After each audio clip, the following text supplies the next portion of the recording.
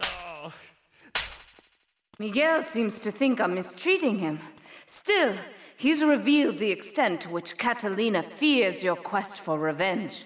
She has three death squads dotted around Liberty, whose sole job is to hunt you down. Act as the bait and get the death squads to follow you to Pike Creek, where some of my men will be waiting for them. Ah!